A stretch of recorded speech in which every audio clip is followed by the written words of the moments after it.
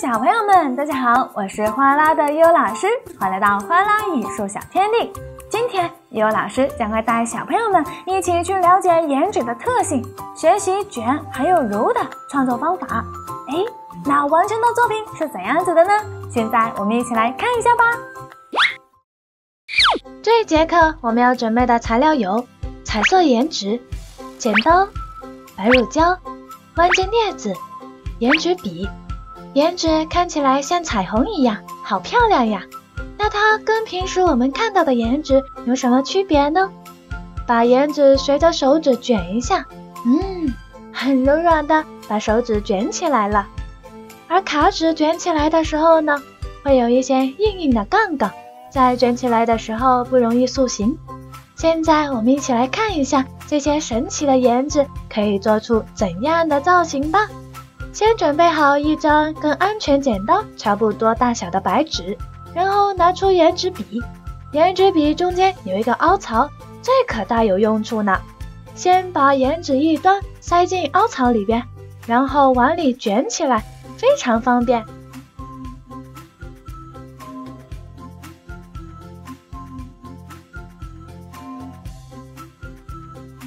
卷到后边的时候，用白乳胶粘好。然后把它从颜纸笔里拔出来，瞧，我们做好了一个圆形的颜纸卷了。做第二个造型的时候，也是先卷起来，但是这个卷到最后的时候，先不要涂上胶水哟。我们可以把它松开一些，松的差不多的时候，左手两个手指轻轻的用力把边边捏一下，右边的手可不要用力哦。这样，我们就能做出一个水滴形状的颜纸图案了。而当我们松开颜纸，左右手手指一起用力捏紧的时候，就可以做出一个眼睛形状的颜纸了呢。最后的时候，别忘了涂上白乳胶哦。现在我们尝试两端的颜纸分开卷，先把颜纸对称折一下。拿出一端，开始往外卷，卷的差不多到中间的时候松开，另一边也是一样的。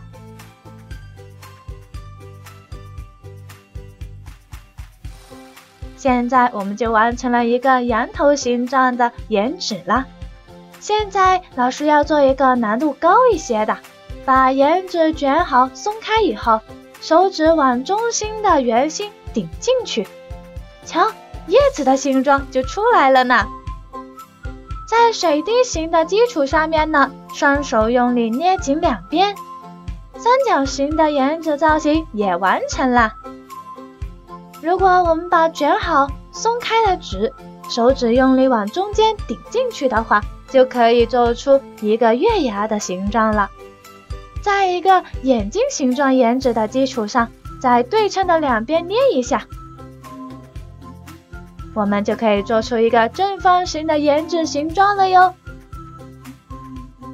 要是我们用食指把一端用力捏一下，再按一下的话呢，就可以做出一个弯曲形状的颜纸图形了呢。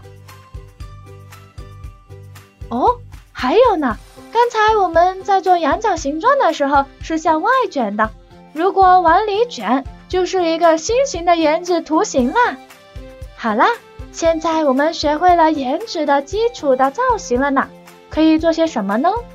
嗯，我们可以想象一下，哎，如果是在海里边，海里边有水母、螃蟹，又或者是我们土地上的一些小昆虫，蚂蚁、蝴蝶、蜜蜂，还有一些小动物，兔子、狐狸、熊猫，都是可以尝试一下的呢。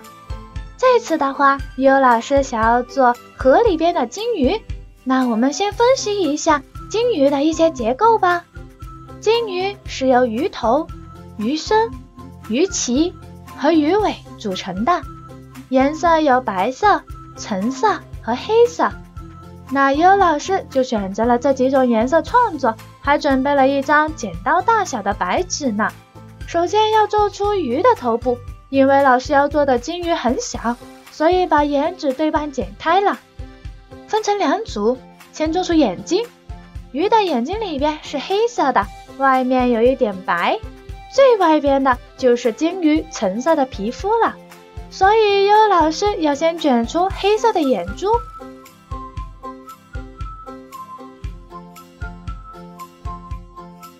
沾上胶水，再卷上白色的颜纸。最后就是金鱼橙色的皮肤了，粘紧了以后，把它放在一边，用同样的步骤做出第二只眼睛。下面就是鱼鳍的部分了，鱼鳍也是对称的，于是老师这里可以用到我们刚才学习的心形卷。做心形卷要先把眼纸对半折一下，然后往里边卷。因为老师要的鱼鳍是小小的，所以在卷到差不多的时候，就可以涂白乳胶，将粘纸粘成圆形了。另一边也是这样哦。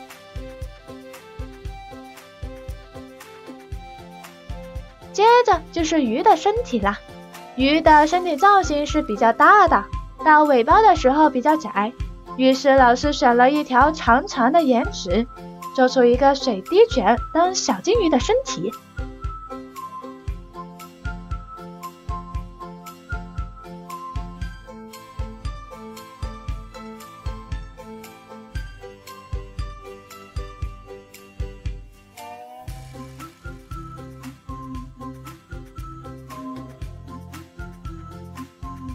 接着就是金鱼的尾巴了，尾巴大大的，很飘逸呢。那优老师呢，就用叶子形的颜值卷把鱼尾巴做好。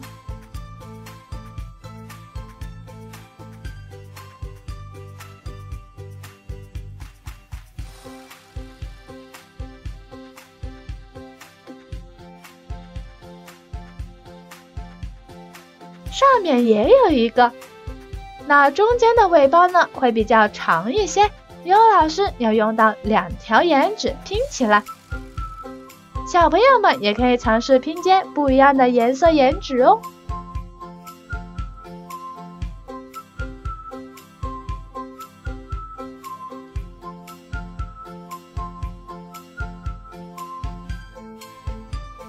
哎，如果里面卷好的形状不能自由松开，那这时候呢，我们可以用手去拨它一下。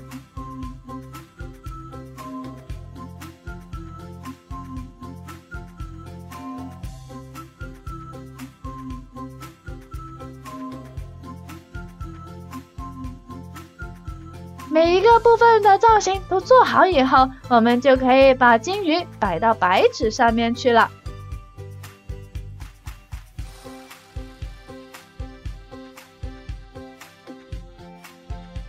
哇哦，好可爱呀！有老师觉得可以做一些小金鱼吐出来的泡泡，这些泡泡呢是大小不一的呢，是不是很生动呢？河里边还会有什么呢？嗯，对了，就是小金鱼吃的水藻呢。我们还可以在比较空的地方加一些生活在水里边的柔软的水藻，找好画面中要贴的地方，涂上胶水，再把水藻贴上去。有一些比较细的地方，可以用颜值笔把它稍微压一下，定一下形。这里的话，家长可以帮忙一下哦。现在还可以给水藻做一些叶子形状的装饰，看起来更加丰富了呢。也可以做出形状不一样的水藻，矮一些的，细一些的，都是可以的。瞧，现在一个小金鱼和它在的场景都做好了呢。小鱼儿在水里边边吃水藻边吃泡泡，是不是做起来既简单又漂亮呢？鱼儿老师还做了一只小喵咪哦，喵喵。喵喵，好可爱呀！这里还有蝴蝶、向日葵，大家喜不喜欢呢？现在小朋友们也可以动手尝试创作喽！哇，是不是很可爱呢？那老师也期待小朋友们的作品哦！我们下一节再见啦，拜拜。